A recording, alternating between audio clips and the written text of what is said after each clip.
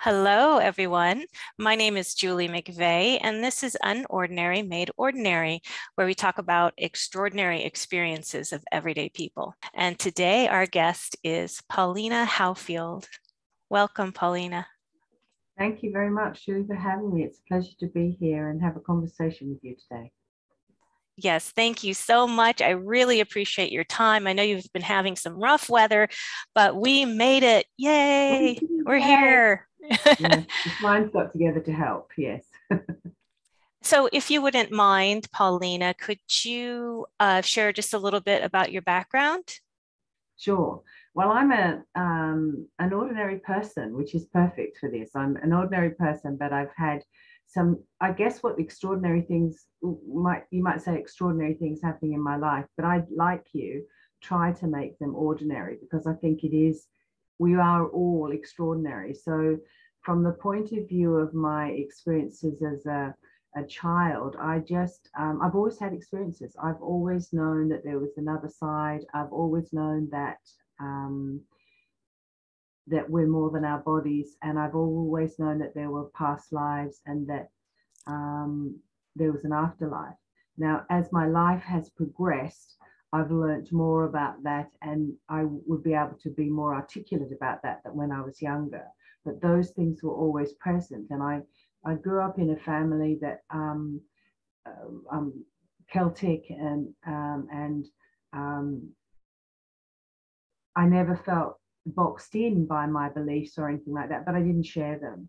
And I didn't share them because they were happening to me. And I just, in a way, assumed that they were happening for everybody. But then I realized at a point of time they weren't happening for everybody. And then I kind of just kept them to myself, partly because I just did. It wasn't a, a big decision I made that I couldn't share them. I just didn't share them. Um, so I've had experiences all my life, and it's been something that I now now realize has been drawing me to a deeper understanding of consciousness, deeper understanding of the afterlife and how to navigate that upon death mm. and how to really develop our deep cosmic memory so that we can all be fully galactically consciously aware. Wow. Okay. I'm so curious. So, as a child, a young child, you intuitively knew that we were not our that we were more than our bodies and and even past lives did you have memories of past lives um, i would say that i had a sense of past lives rather than individual memories okay um, now i would say i had individual memories but as a child i knew i just knew wow i knew that past life and because because i hit, could hear voices you know you've got to be careful when you say that yeah but i could hear voices and I could sense dead people. And um, there were also other things going on. I just knew that there was an invisible world. Okay. And there's an invisible world. That means that we're not the body. Right. Just or just the body. That yeah. means we're more than that.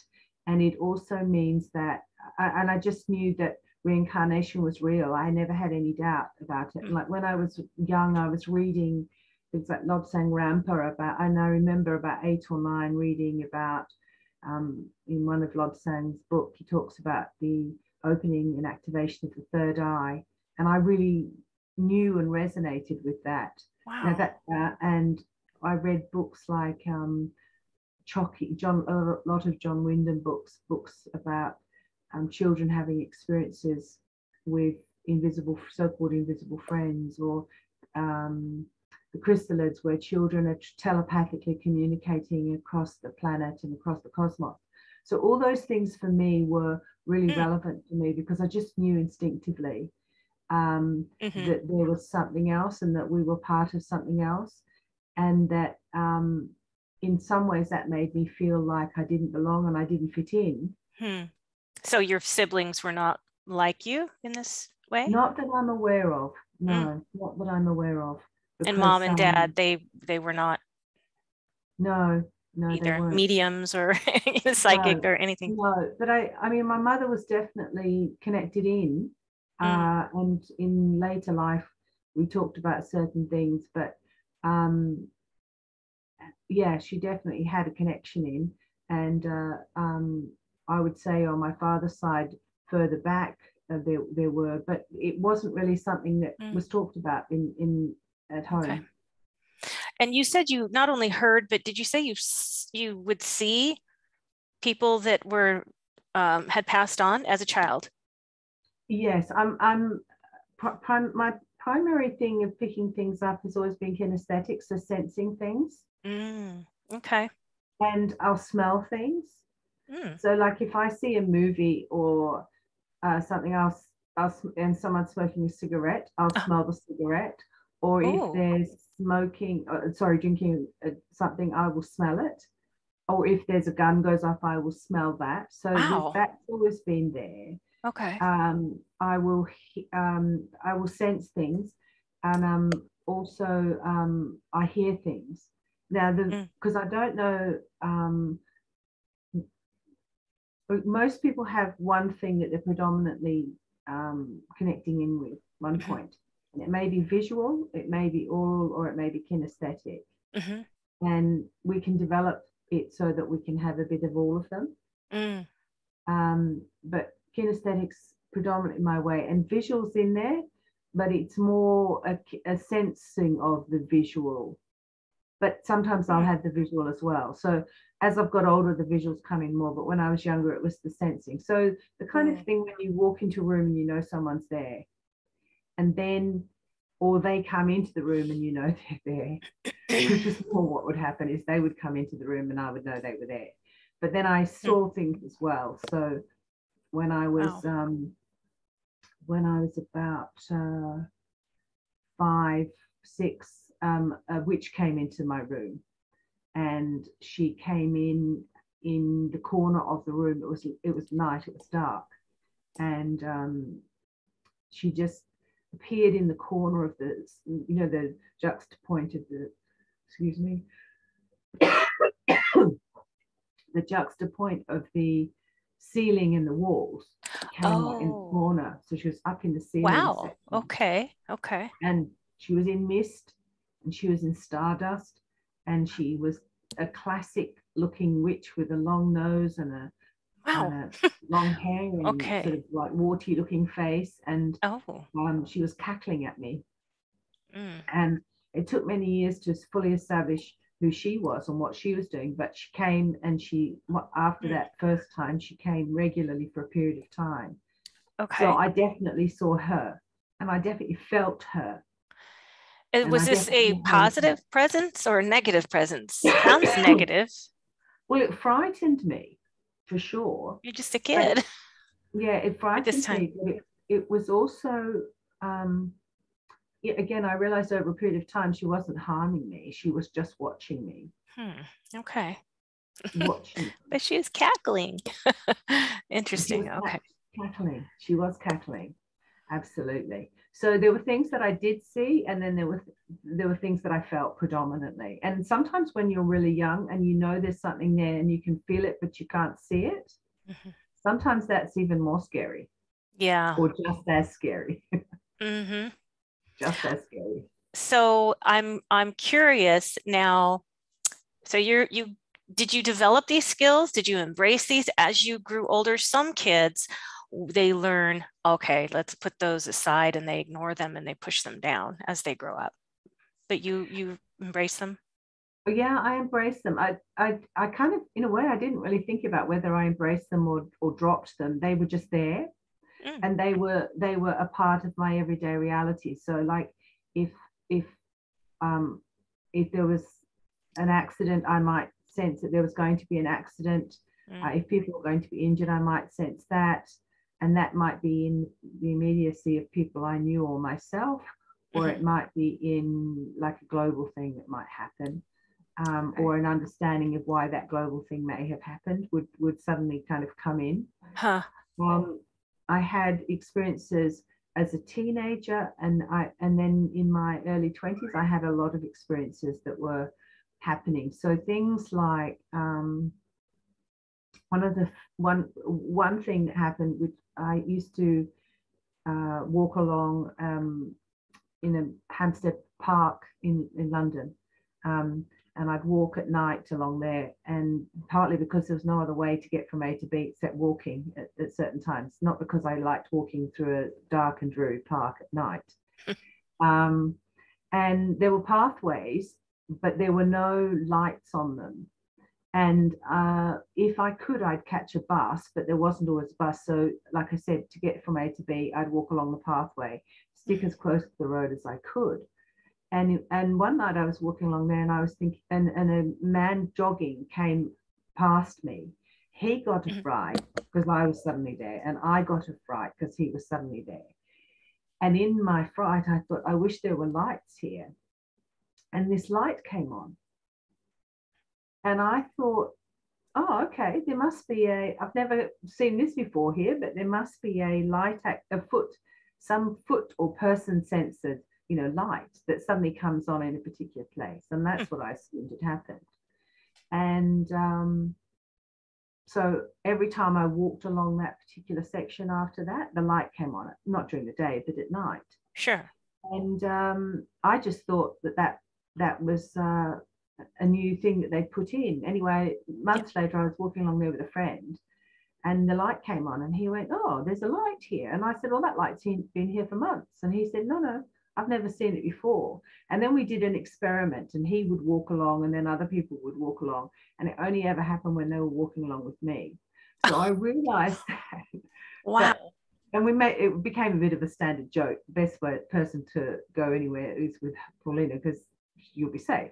But it was, I, I there were things like that happened that there was there was a sense of being protected, mm. and not and not not protected in a um, I'm special way, but protected in that there was something going on. There was another thing going on that people were looking over because they had um, sort of sense of something that I was, um, uh, something they were watching over me for. Hmm. And uh, um, contact experiences of all different sorts of things. And I had um, what would be termed ETs visiting and the watchers who would watch me. And they, um, they were they were watchers. So a lot of the stuff that I had as a child really were experiences of talking and being with people and recognizing dead people. But it wasn't until when I was older and then I then had a lot of things happening in my 20s and then I had the the near death and then a lot of things went after that that I could see that it was all part of a an, a consciousness plan, if you like. Yeah. It's like we don't just have one thing that happens to right us. yeah and and and the the spiritually transformative experiences that a lot, a lot of people are now talking about right it's like these happen in a cumulative way mm. they're like helping us grow they're mm. helping us change and they're helping us learn more mm-hmm. so that was kind of how how it's been for me that um, each experience comes on the back of the other experience in a way yeah, yeah. And each of those potentially is a bit of an initiation experience. It can be. So the near death experience, let's let's kind of move into that if if you would. Mm. Um, that sounds like it really started to open things up after that. Um, yeah. And you were what about what age were you then? I this... was uh, about 25. Would you mind just kind of leading us up to that and then taking us through that experience? Sure. Well, um, part of my journey had always been that I was going to, after I'd finished university, I was going to travel, and that that for me was just in my nature and has been in my nature ever since eh, all my life, and that's also part of my um, spiritually transformative lifestyle and experiences. Um, so I was moving around the planet at the time that mm. um, I then ended up living in Israel and um, I was mm. feeling very, I'd been in Turkey having some past life experiences and I moved into Israel. And while I was there, I um, had a something happening in my stomach, which I was putting down to dodgy water that I'd drunk at some point. As you tra- when you when you travel, you know you can get a dodgy tummy from something. Mm-hmm but it persisted. And um, in the end, I ended up going to see a couple of specialists, and I was told that I had a, a cyst on an ovary. And they said to me, or the person said to me, be careful with it because it might rupture. And I, mm. and, and if it does, it's an emergency. Get to somebody as soon as possible. And I remember when I was leaving the offices and then um, heading back to the community that I was living in, thinking, well, I, I wonder how you know if it ruptures. Like, what happens if it ruptures? Turns out it's really easy to know what happens because that evening it ruptured. And um, it, excuse me, it sent like shock waves and pain waves through my body. Mm. And I felt like I'd been given an um, like someone had injected me with some kind of weird drug. That's kind of what what happened immediately, and then it was just mm. a lot of pain. Mm. And then as I was trying to, I was trying to breathe because I couldn't breathe, and I was and, and I knew I was in a serious problem. I also thought I need to try and get to the hospital, so I was in a community where I needed to figure out if I could find someone who could take me to the hospital. Yeah. Um, and uh, in that process, someone went off to find somebody for me. And then I ended up being taken by the community nurse and the and a person who was a student doctor who was driving the car. Hmm. And we got into the car because we were going to the hospital. And I was struggling to breathe, and I knew I wasn't well, and I wasn't frightened, but I was um, aware that it was a difficult situation and I needed to concentrate and focus. But I also knew that um, um, when the woman in the the nurse said to me, "Get uh, if you get in the back of the car and lay down," I knew if I lay down, that wasn't a good move. I knew that I wouldn't survive that. Hmm. I don't know why I knew that, but I knew. And hmm. so I'm tall and I couldn't fit, I couldn't lay down in the back seat anyway.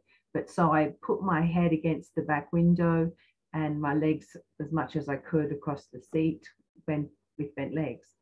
And it was actually really nice having my head resting against the window, which was cooler because I was feeling a lot of heat and a lot of distress in the body. Right. And as we drove out of the property, and it was about 20, 25 minutes, I think, to the car to the hospital.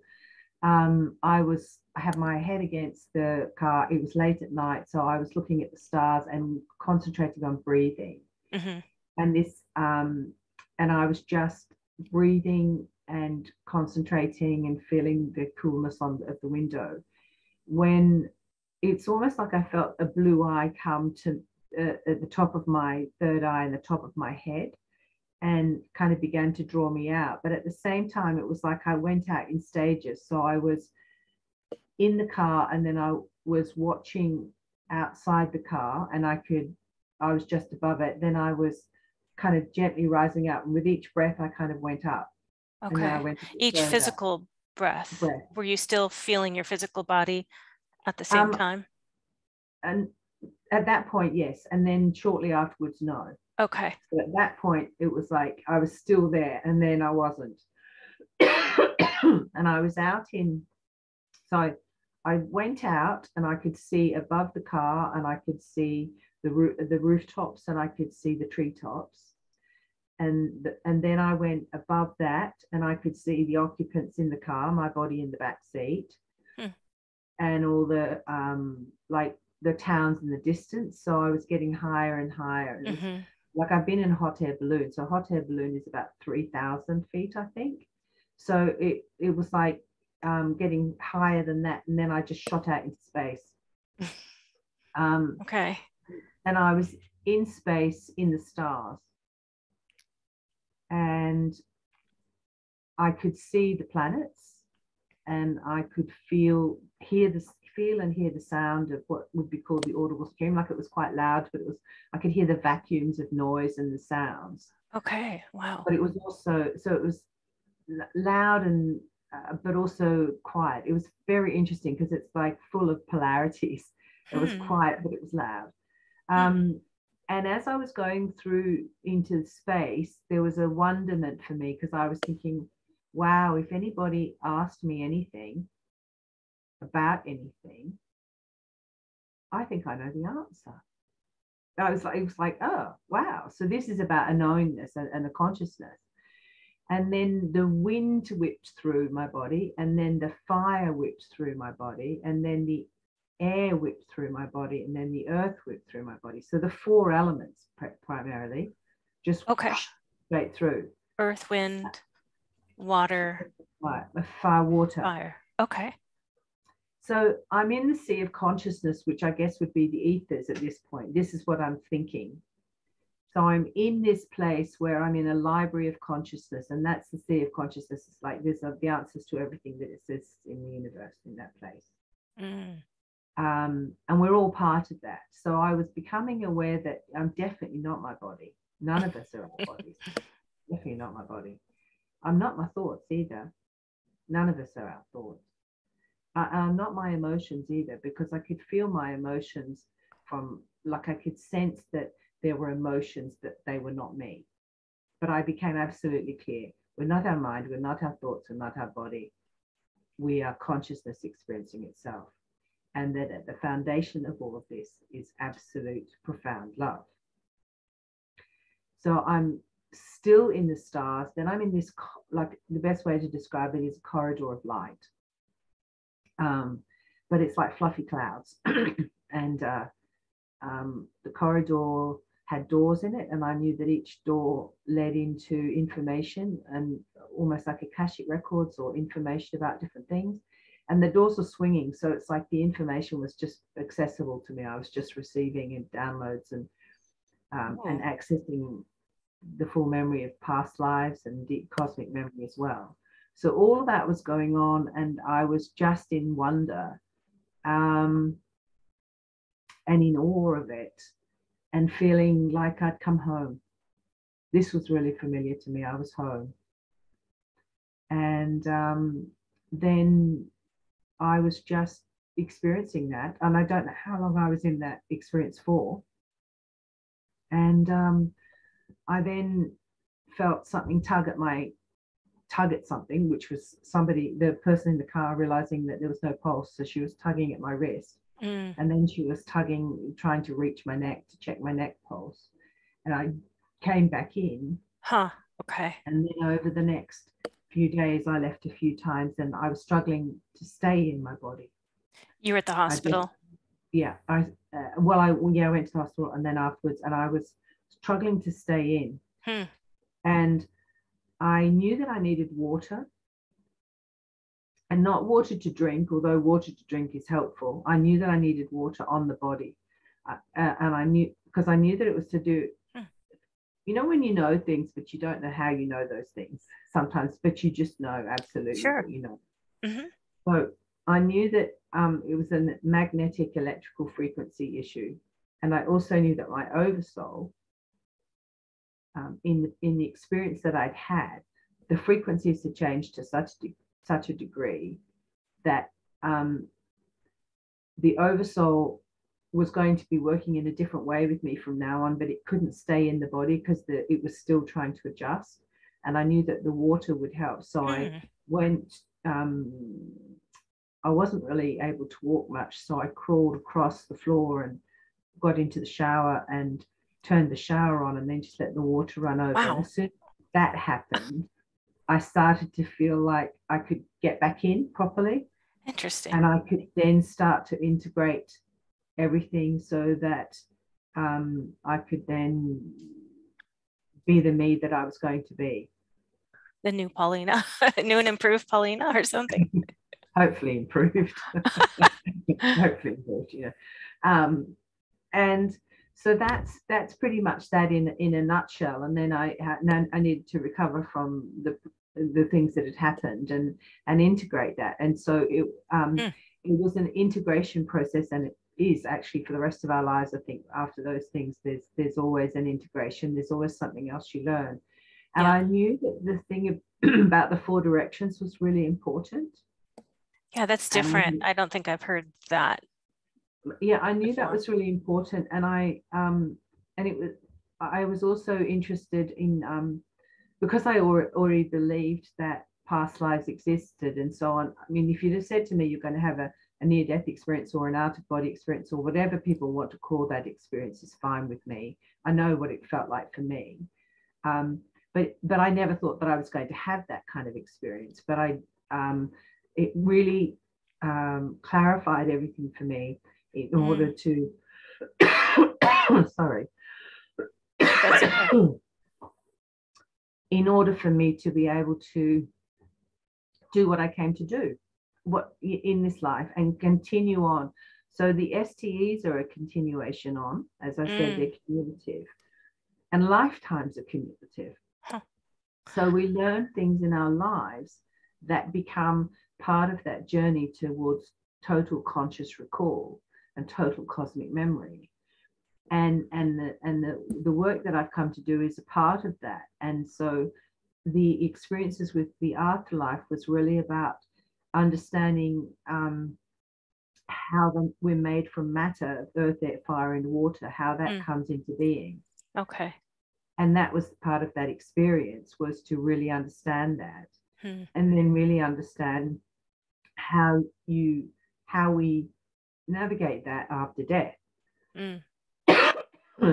and um, some years later, I was at a Buddhist um, oh, I was at a gathering of monks actually, and uh, they one of them was talking about how they work to navigate the afterlife, and there was stuff that was spoken in that that I don't think they n- normally talk about, um, and for for some of the monks, it's uh, well maybe all of them, it's uh, something that they're aspiring to throughout their life, so they can die well and that they can. Hmm um, leave the body and leave the body consciously.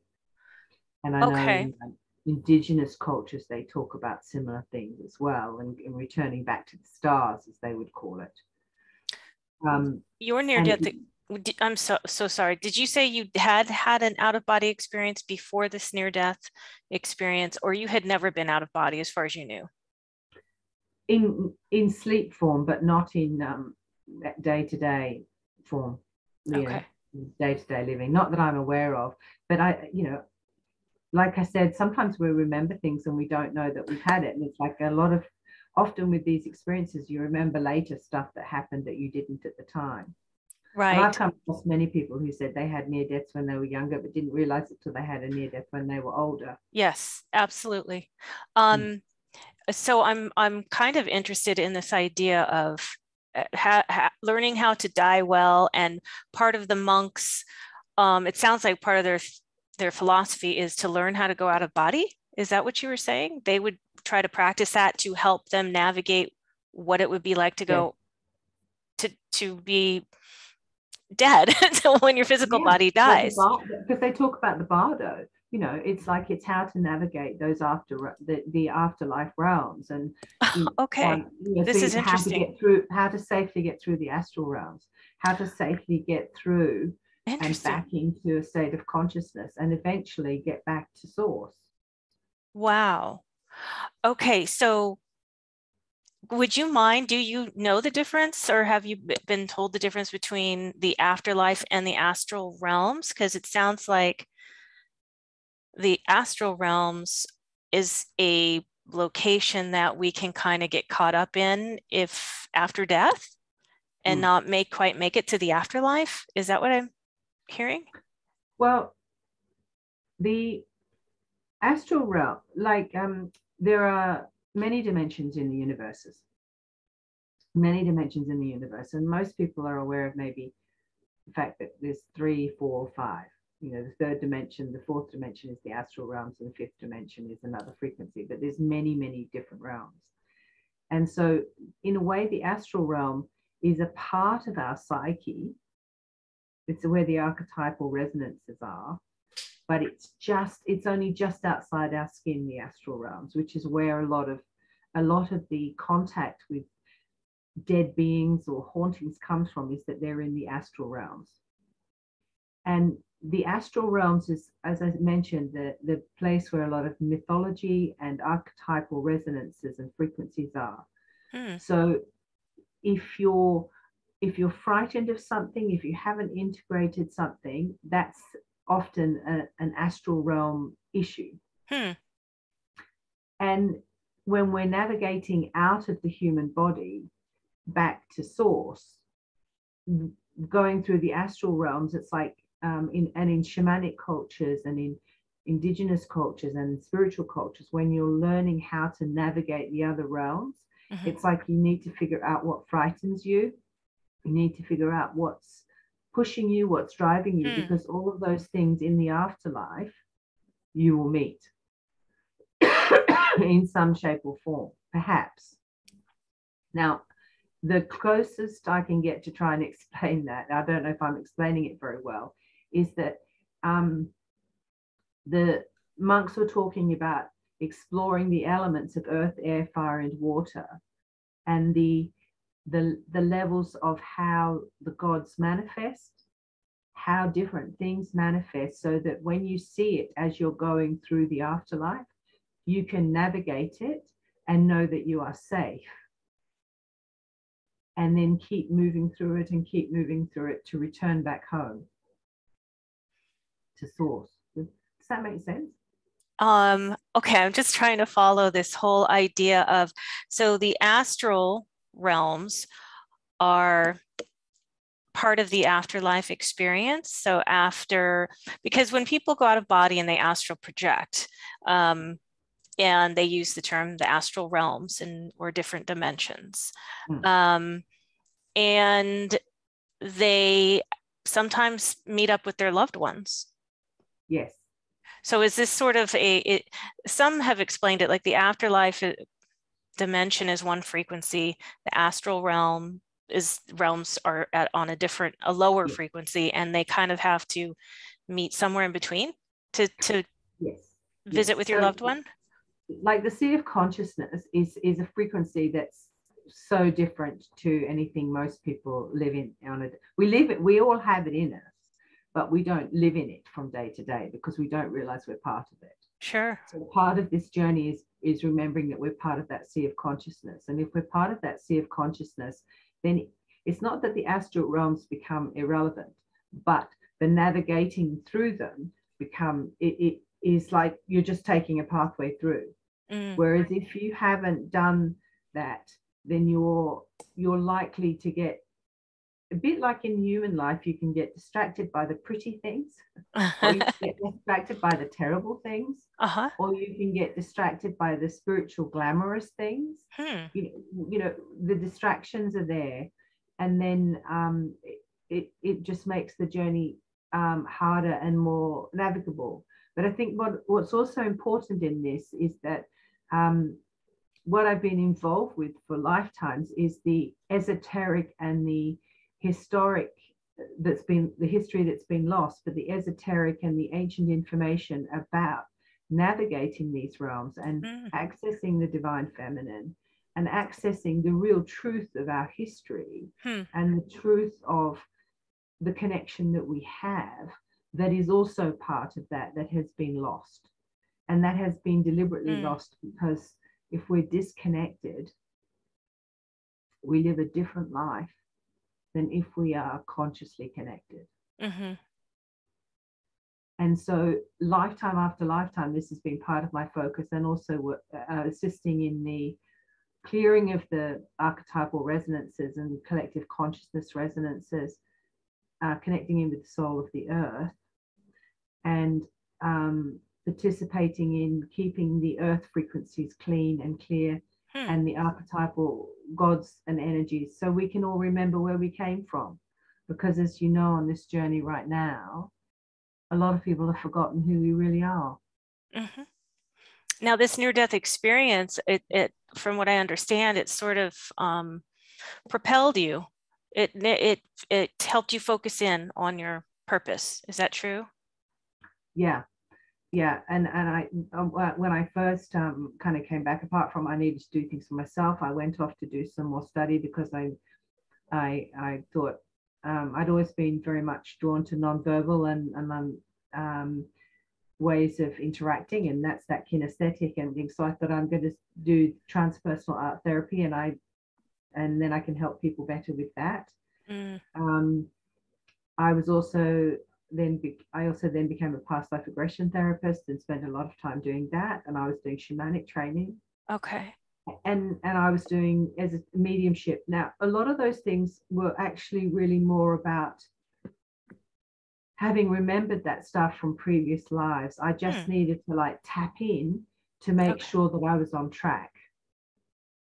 And also in the process of integrating the near death, it's like these things take time. So that was the development and a progression. So remembering things from previous lives mm-hmm. enabled more of that um, experience of the near death to make sense. Not that it didn't make sense, but another level of sense came forward. Hmm. When you were out there and you had sort of all knowledge, or you just felt at peace and at one with everything. Like you had no que- questions or if a question came up you felt like you would just know the answer. Did you bring a lot of that back? Or you did. Yeah. Yeah. Yeah. And there's a knowingness that's never gone. So if um, you had to sum up the purpose of gosh how do i say it? source. What's the what's the purpose of source? Ultimate source consciousness Why? Why not just sit in in oneness and not have all these? Because I know there's this understanding that we're, we're all um, fractals or pieces of source consciousness expre- expressing itself and experiencing itself. Um, you know, was there a time that it was not experiencing itself, and or is it, is that part of the definition of source?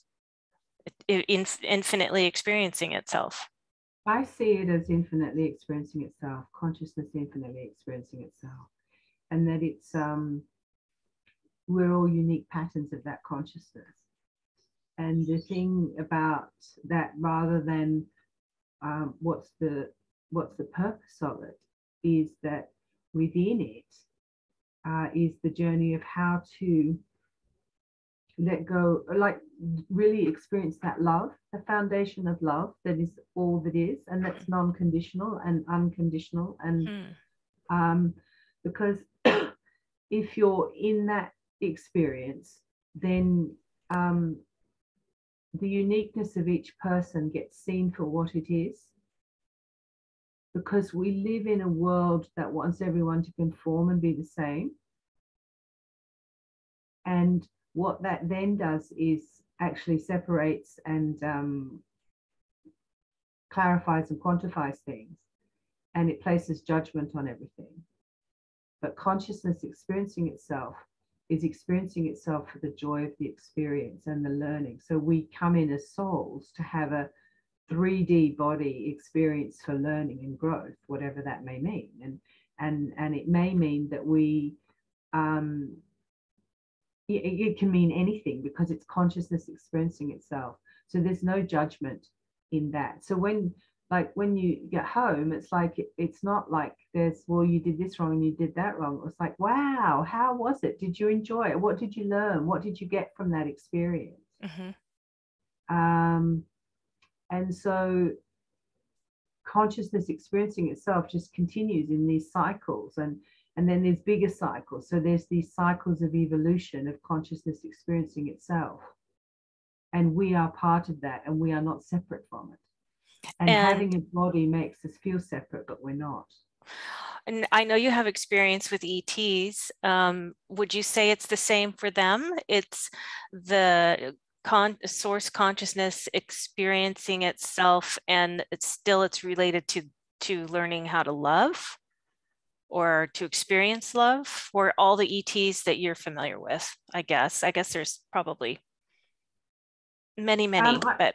Yeah, I couldn't say that for, I, I couldn't say that for all, I mean, everything is part of consciousness experiencing itself. I'm, I'm, I feel that deeply. But I think um, different species and different consciousnesses or different experiences of that consciousness have different reasons for doing things. Hmm. Um, but always the foundation of love is that i personally believe there is a foundation of love behind everything. Um, and so that's the great that's one of the greatest lessons really is if everything is the foundation of love then everything that we feel that is not love is illusion. Hmm. that's interesting. That's very interesting. And if that's illusion then what's real Mm. and then you kind of can end up in that spiral of how Mhm. does the mind work and how to and um, what's real and what's not real and uh, it's a fine line between staying sane and, um, yeah. and you only have to look through history to see that there has people who are very close to it because we are all an aspect of the divine spark experiencing itself I'd, I'd like to ask you something going back to um, reincarnation because I know that a lot of my listeners um, have questions about reincarnation. Number one, uh, do we have free will? Do we have to come back? Because, and the main reason is um, for asking this is because they want to they want to see their loved ones on the other side. They want to experience the afterlife with their loved ones. Do you have any thoughts about that? Do we get to hang out? Do our loved ones who have passed on before us get to wait for us, or do they have to reincarnate right away? Okay. there's there's lots of layers to that question um, and uh, um, for me um, reincarnation is a part of free will and the beings that i have interactions with um, the so-called ets and the inner earth beings and the ray masters and all, be, all beings work with the idea that it is free will and that um, we make those choices to come back. And we make the choices because, as beings who, when we return back to source, we realize that we want to do it again because we have things to learn from. And it's not about the family dynamic relationships, it's about something much bigger than that. And so when we're in a human form, we want to be with our family, or we want to be with our friends, or we want to be with those humans. That's part of the human dynamic. But actually, reincarnation is much bigger than that. It's about, um, as a soul, how we grow and how we change, and how we understand where we came from. And what we're participating in and the cycles of those things that we're participating in. So, free will is absolutely an important part of that. And many human beings want freedom of choice and personal responsibility. And I think one of the things that we see a lot on the planet right now is people struggling with actually taking personal choice, having self responsibility and many people feel that there those things are being taken away. Um, and also the flip of that is people not being able to take personal responsibility and self-responsibility and personal choice.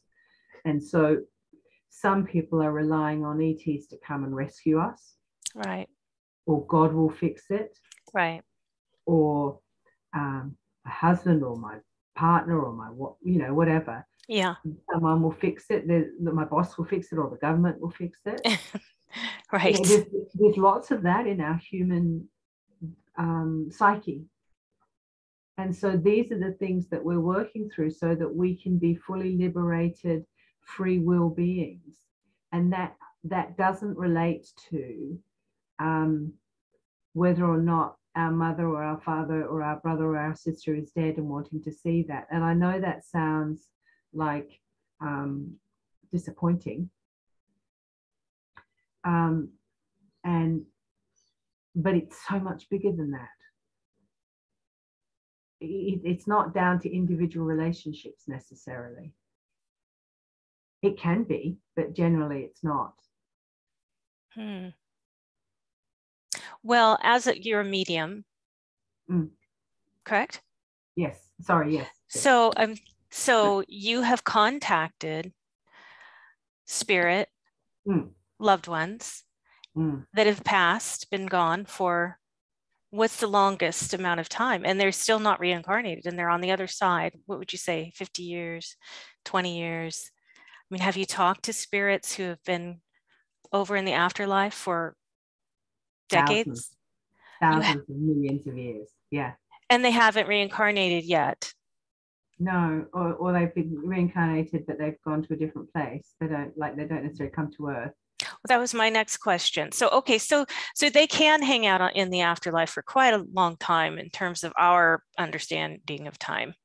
Well i would say they're they're in um in the other realms not necessarily the afterlife. Okay. Because okay. it, it's just a different form of of consciousness so when we're speak, like if your mother comes to see you say if your mother's passed and your mother comes to see you it may be your mother actually coming, but it may be an aspect of your mother coming. Because she may be. Because she's doing something else now. She's gone on to a different life or she's gone on to a different experience okay. in some way. So it's like the particle, the nanoparticle, or that that okay. aspect. Like your mother would know how to show up to you. And like even if she's um even if within her soul form uh, she was a triangle or a, an ET of some description, she's not necessarily going to show up to you like that unless you're at a place within your own conscious awareness that you can cope with that. Sure. That makes sense. Yeah. So, so they will present themselves according to what what your imprint of them is, your genetic, your your genetic or your energetic imprint of them. So consciousness continues on and if we're you know if we're experiencing different lifetimes at different points or or time is irrelevant then it's like there's always the spark that will meet the other spark mm. and when you said um you could it sounded like you're saying we could reincarnate onto another planet absolutely. And be an et i mean anything that's not on earth i guess is et right? Uh, so yeah i mean we, the it, it comes down like you know we have a lot of discussions uh, now about star seeding and yeah. and certainly as a star seed myself i can and and um one of the waves of star seeds that came earlier than than some of the newer star seeds but it's it's that sense of it's about uh, understanding that we all come from the stars we are all seeded from the stars but we were all seeded as a designer um, project. And so whatever's in mm. that hmm. seeding is going to be a part of our genetic makeup. And so we may we may manifest on different planets or in different ways in different places. And some people have never had an incarnation on Earth before. Other people, like me, I've incarnated on Earth many times. Um, and in other places as well. So it, it's that sense of the only, in a way, I think the only limit to consciousness is our belief that consciousness is limited. and that's a tricky one because mm-hmm. what that then does is it means anything and everything can happen. I like that idea though. and we're, we're only limited by the belief that we think there is some kind of limitation or some box that it has to fit into hmm. um, we're getting out of time i don't want to stop this conversation uh, can i just ask you i don't know if this will be a real quick question answer oversoul so when you said you were talking about the oversoul wanting to not being able to stick going yeah. back into you does is that the same as a soul when people say my soul this and my soul that, my soul exited, my um, soul. It, it, it's it's not quite the same thing because the oversoul is, is, is a bit like, you know, I mentioned the watchers before who are watching and guiding. The oversoul is a is a bit like that. It's an it's a higher resonance, a higher frequency. Okay. And it and it, it's not the higher self. It's not the higher self. It's a different thing to that, and it's a, at a very different frequency to that. But it it kind of manages in a way and guides how things happen. But in my instance, it was going to be present to allow me to do the electrical frequency work that I do.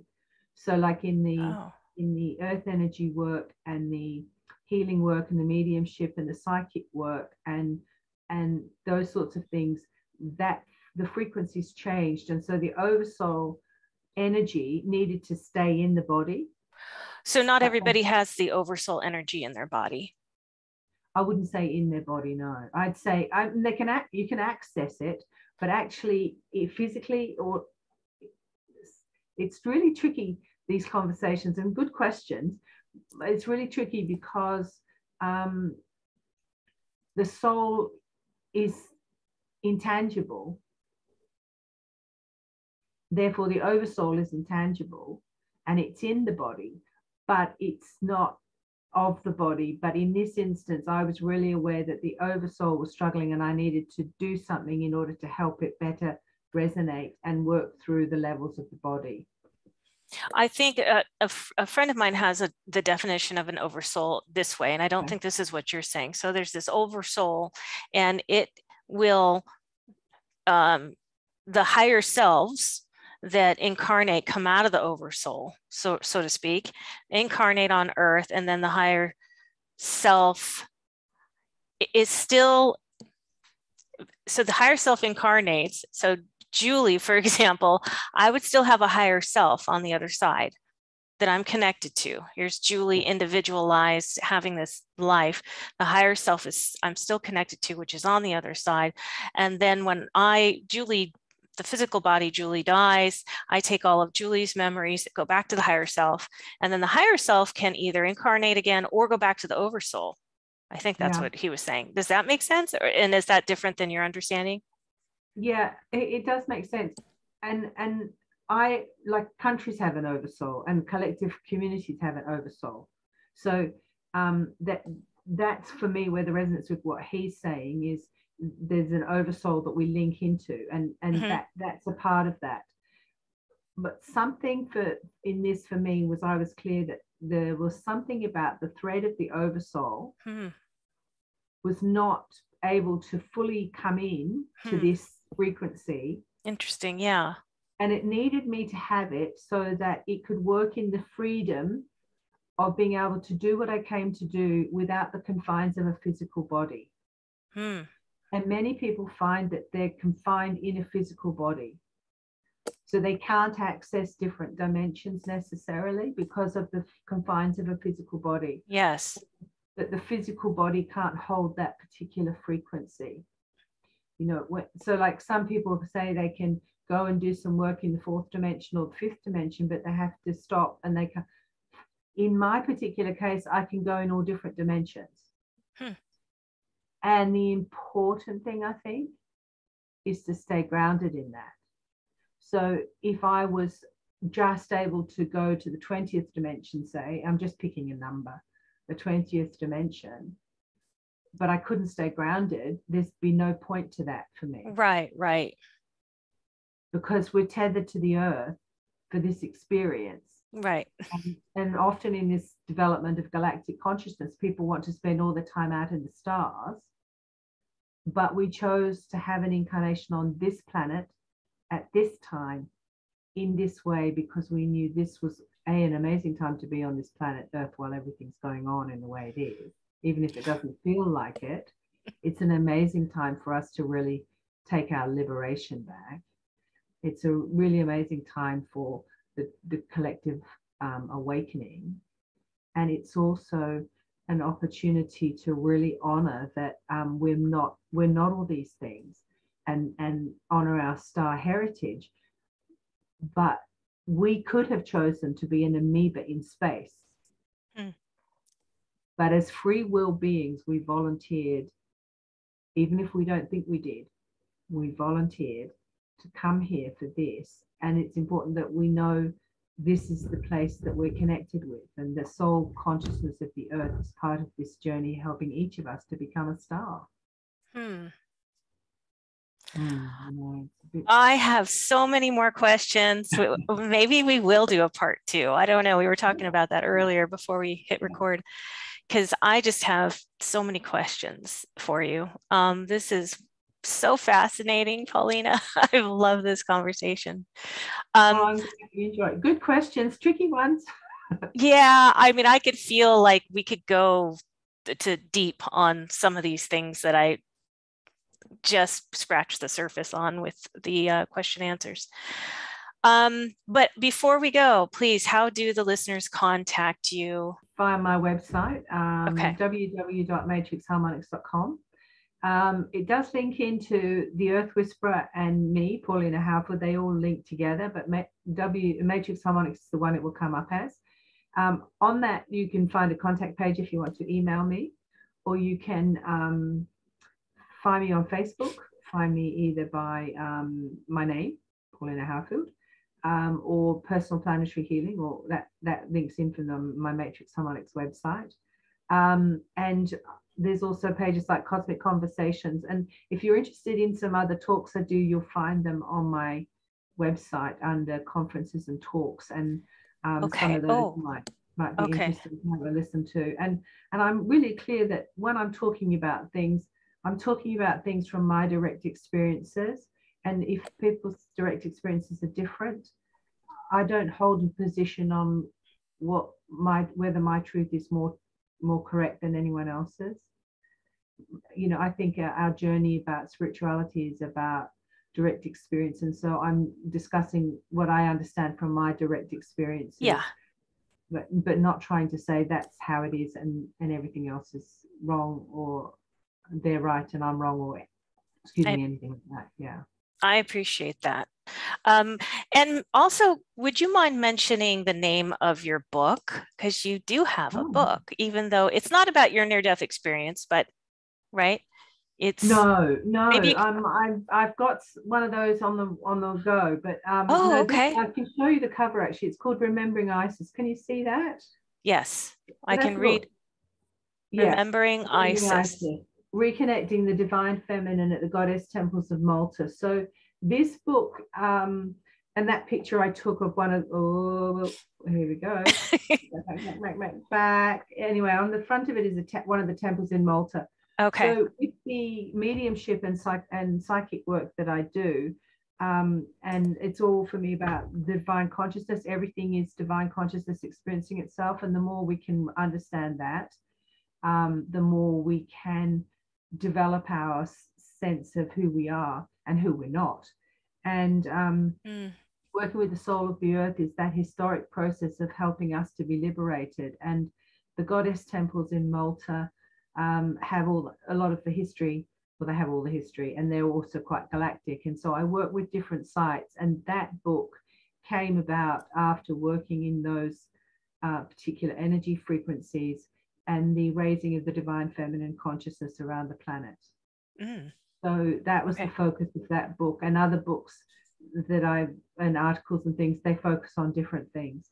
Um, but so it has a little bit of information about how you do things when you're working with the earth and how you interact with guardian spirits and things like that. But it's generally a form of a pilgrimage, so that um, it can be because it was it was tricky. I knew that there were going to be some topics that I would cover that maybe people wouldn't think are important Mm. because you know you've got to pay your mortgage, you've got to do all these things. Um, but Yeah. divine feminine to me is is is important, and it's that part of that remembering. So that's why the remembering is really really important because it's not just to remember in your mind; it's remember cosmically, and it's to bring the threads together. So you're remembering, you're putting all the membered, dismembered bits back together. Okay. So- I very cool. And I'm going to put these links in the video description for anybody who's listening and they're trying to type it all out real quick. Yeah, Uh, if- well, if I'll write it anyone's out. into- If anyone's into tarot cards and whatever, I do have a Soul Whispers card deck as well. Which so like things like I ta- I take pictures and then I write little bits of wisdom on it. Um, so yeah, it's basically a, a, a Soul Whispers deck, and uh, you can use it to learn what your soul's trying to teach you. And um, b- before we close out, any Yeah. other last words, Paulina? Anything that you're thinking, oh, I just, I really feel like I want to get this one more thing across. I just want to give you that opportunity. um, oh, the- I'm the making you talk far too much. the thing that I would say, uh, which is really, we we I, I mentioned you know we all volunteered, and it, we are living in a time where where many people are being challenged. and we're living at a point of reference where some people are giving up or they wonder what it's all about.